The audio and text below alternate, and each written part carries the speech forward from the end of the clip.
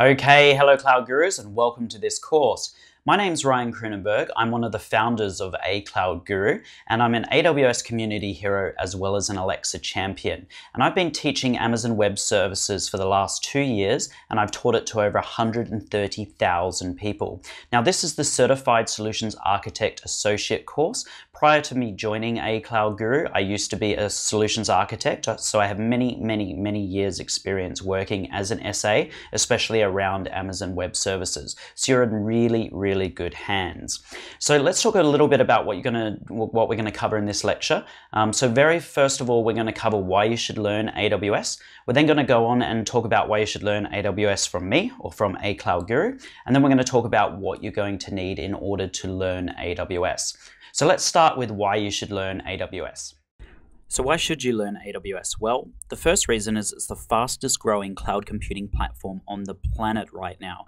In fact, Gartner actually did a study and they um, basically compared Amazon Web Services to the other top 14 cloud providers in the world. And if you add up the compute capacity for Amazon Web Services, it consumes about 90% of the world's total compute capacity in terms of public cloud. The next 5% was owned by Microsoft and then the next um, 5% after that was all the other competitors added up together. So it is absolutely huge in terms of its uh, reach and in terms of its capacity. It's the largest public cloud computing platform on the planet, and more and more organizations are now outsourcing their IT infrastructure to AWS. Uh, and the AWS certifications are now the most popular IT certifications in the world right now. And you don't have to take my word for it. Uh, you can actually go see a Forbes.com article, and it is the top paid certification for 2016. So, this is that Forbes article I was talking about. You can see the 15 top paying IT certifications in 2016. AWS certified Solutions Architect leads at $125,000. Uh, and you can scroll down, just type in, if you want to find this, type in Forbes um, AWS certification into Google. Uh, and you can see here the very top one is Amazon Web Certif- Services Certified Solutions Architect Associate. Now, of course, professional pays a lot more than the associate uh, certification. Not entirely sure why it's not on here, um, but um, you know the number of professionals in the world is currently less than 3,000, and I'm recording this at the end of 2016. And if we scroll up here, we can see that six of the 15 are focused on security, and Amazon have just released a new um, security speciality cert- certification uh, and that has only just come out like literally in the last couple of weeks. It's still in beta, um, but I suspect that will also be a very, very popular certificate. Now, the thing about AWS is it grows at an exponential rate. So in 2011, AWS announced 82 new services and updates to their platform. In 2012, we had 159. In 2013, we had 280. In 2014, we had 516. 2015, we had 735. And then in 2016, we've had over a thousand. So it is growing so, so fast. And because of that, it can be hard to keep keep up. And that's exactly what the A Cloud Guru platform is designed to do. It's designed to teach you AWS as and when they release new services and helps you basically keep up uh, with the platform as it grows. So, why did the certificates actually matter? Well, it's all actually driven a lot by the partner program, and there's two different types of partners. There's technology partners, so this will be companies like Alert Logic, Cloudberry Labs, Sumo Logic, Datadog, New Relic, and each one of these um, technology partners has a different technology that interacts with AWS. So Alert Logic is very much security focused, whereas Cloudberry Labs is focused on S3. And they actually have a cool little program which um, makes it look like Windows Explorer in your browser, um, but it's actually storing all your files up in S3. S3. We then have consulting partners. Now, this includes companies like LogicWorks, who I used to work for. They're based out of Manhattan, um, Rackspace as well, who I also used to work for, uh, Accenture and DataPipe. And these um, are different, and by all means, this is not a definitive list of all the consulting partners. Um, but these partners basically, um, you know, provide AWS managed services. So they manage infrastructure on top of AWS. So in terms of consulting partners, there's different levels of consulting partners there's a standard uh, consulting partner, an advanced consulting partner, and then a premier consulting partner. And in order to be a partner, you need to have enough um, staff who are certified um, to a certain level. So if you want to be a standard consulting partner, you're going to need at least two staff with associate certificates. Um, if you want to be an advanced consulting partner, you're going to need at least four um, staff with associate certificates and two staff with professional certificates. And if you want to be a premier partner, you're going to need at least 20 staff with associate certificates and eight staff with professional certificates. And what a lot of the consulting partners do is they compete with who has the most number of certified, um, you know, staff in the world. And it's not really limited to just consulting partners either. All the companies within the AWS ecosystem are now really competing about how many staff that they've got certified because that's a general litmus test as to how to measure how cloud fluent you are. You know, the more people you have certified, the more fluent you are in Amazon Web Services and in cloud itself. So there's a huge demand out there by employers right now to get staff certified. And that may be why you're watching this video. Perhaps your employer is encouraging you to do it, or perhaps you want to get a job in the AWS uh, you know, space and you know that um, getting an associate or even a professional certificate is a silver bullet to getting a job within the AWS ecosystem system. So let's talk a little bit about how the exams fit together. And the oldest of the exams is the associate tier. So these are the bread and butter. So we've got the Certified Solutions Architect Associate course, we've got the Certified Developer Associate course, and we've got the Certified SysOps Administrator Associate course. We'll talk about the different levels of difficulty in the next slide. We then have the professional tier. So you can get a Certified Solutions Architect Professional qualification. Uh, and then in order to do that, you must have passed the Certified Solutions Solutions Architect Associate exam first. You can also get the DevOps Professional. For the DevOps Professional, you must have passed either the Certified Developer Associate uh, exam or the Certified SysOps Administrator Associate exam. We then have on top of this now new specialty uh, exams, and these are very, very new. They, they're only actually announced, um, you know, the end of 2016. Um, they're in beta up until March. Um, so we've got uh, security, we've got advanced networking, and we've got got big data. Now, in order to sit the specialty exams, you're going to need an associate exam. You don't actually need a professional, uh, you know, certification at this stage. So let's talk about how they all fit together in terms of easiest exam to hardest exam. Uh, so the very easiest exam by far is the Developer Associate exam. We then have the Certified uh, Solutions Architect Associate exam. We then have the SysOps Administrator Associate exam. And then uh, really the Security speciality is somewhere between an associate and a professional uh, certification, and same with big data. Um, they're not quite associate level, they're quite a bit harder than the associate level, but they're not quite professional level either. Um, so they sort of sit in between, and at least this is in my opinion anyway, um, but certainly according to the rest of the community who have sat these exams as well, we sort of think they're between the two. We then have the DevOps Pro exam, it starts getting to be quite tough.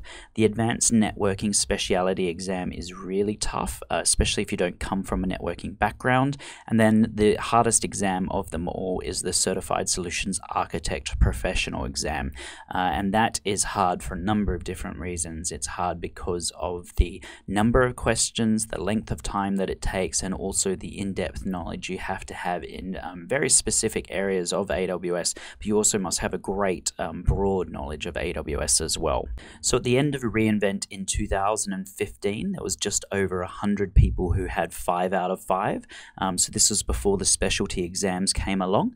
Uh, and right now, to my knowledge, there is no one out there who has 8 out of 8. So there's a, a big race on. Uh, some people sat all three specialty exams uh, at reInvent, uh, but you don't get the specialty exam results out until March. So my challenge to you is can you get 8 out of 8 before reInvent 2017? And if you can, come and see us uh, at reInvent and we'll give you a special shirt for it. Okay, so we've covered off why you should learn um, AWS. Let's talk about A Cloud Guru and why you should learn it from us. So go check out our website. Um, it's uh, https acloud.guru.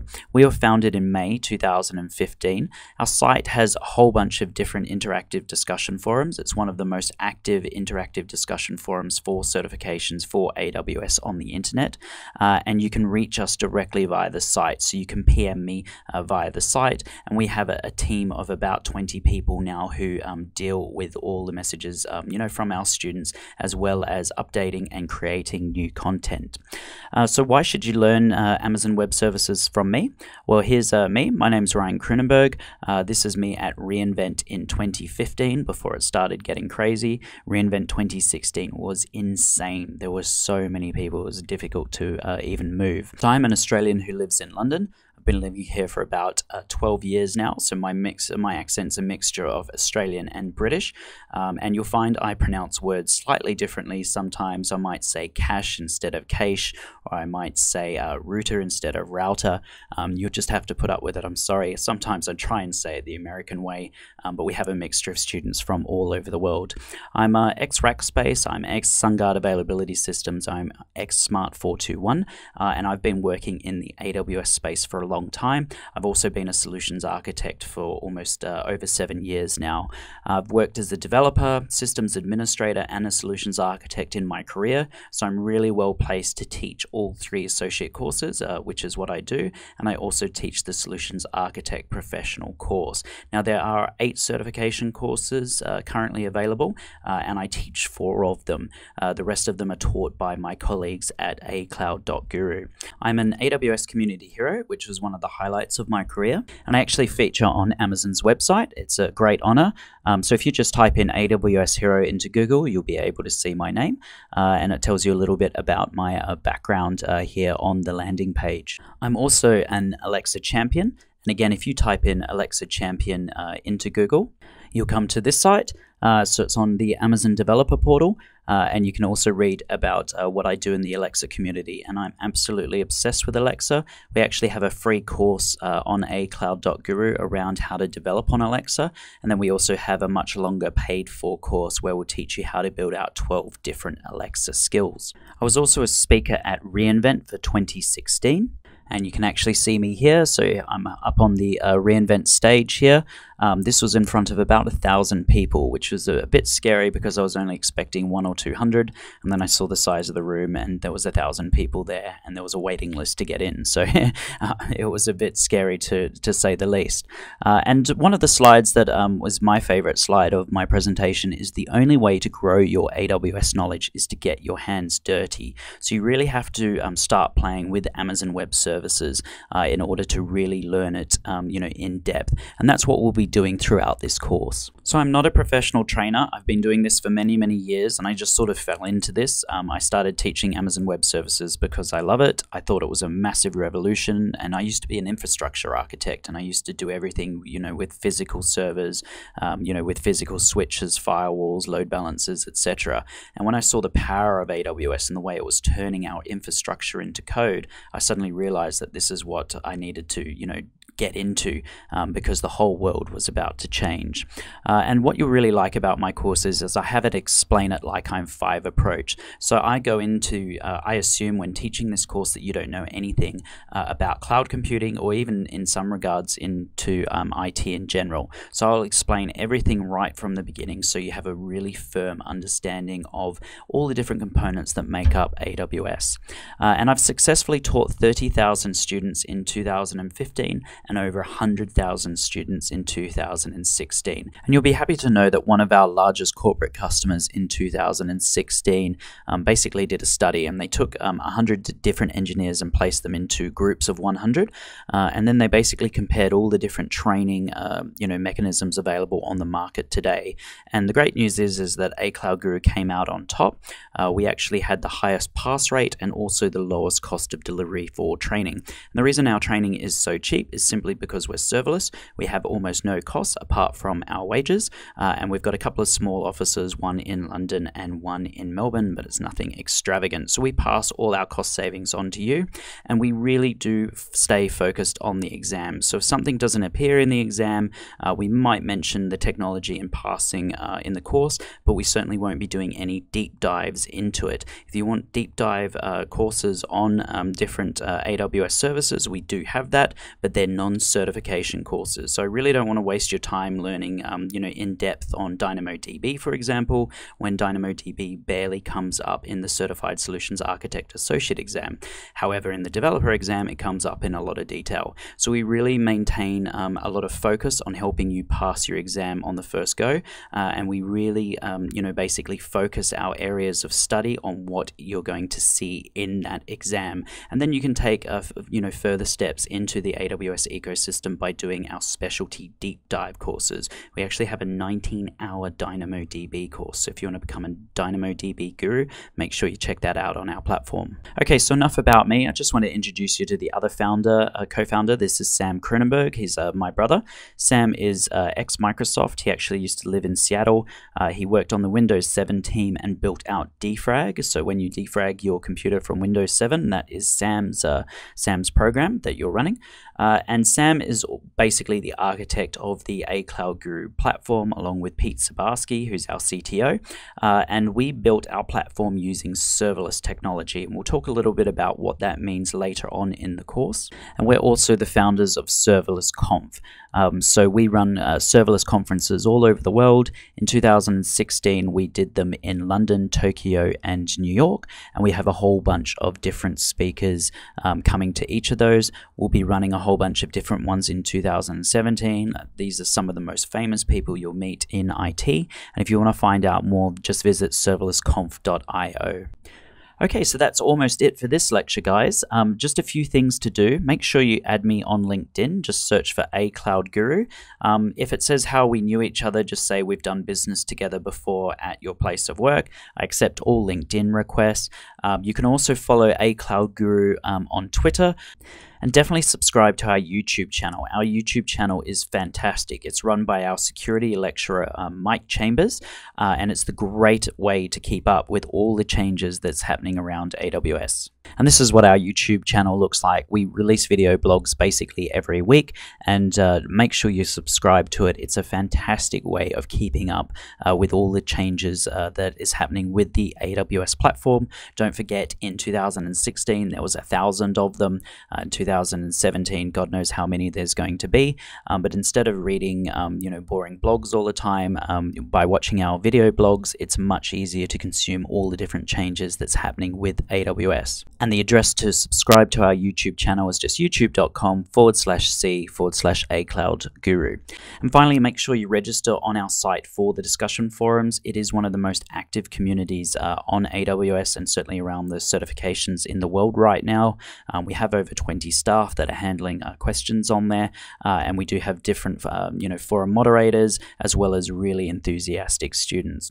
Uh, so the last uh, couple of things you need to do is go and sign up for an AWS account account, uh, and you're also going to need a computer in which to do this on. You, it can either be a Mac, Windows, or Linux computer. You will need to be able to SSH into EC2 instances in order to, um, you know, do the labs. Uh, and I'll show you how to do that on both a Mac and a Windows computer in a couple of sections on in the course. And just for Udemy students, um, if you are watching this on Udemy, I would encourage you to go over to our platform acloud.guru. Um, we have many, many, many more practice questions on the site. It won't cost you anything extra. You can actually just migrate your Udemy purchase over to the acloud.guru platform, so you don't need to purchase it twice. Um, basically, we will just ask uh, for proof of receipt that you've uh, purchased it via Udemy.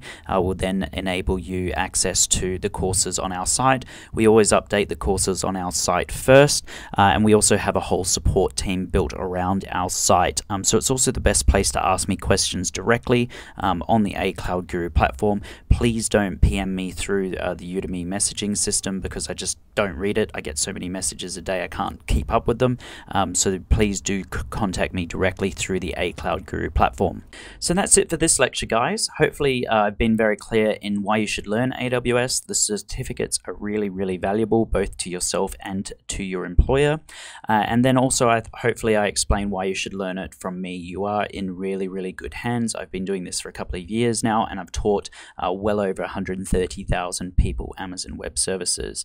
Uh, so make sure you do all these things to do on the to do list. Uh, make sure you go and get yourself an AWS account, and then you'll be ready uh, to begin the course.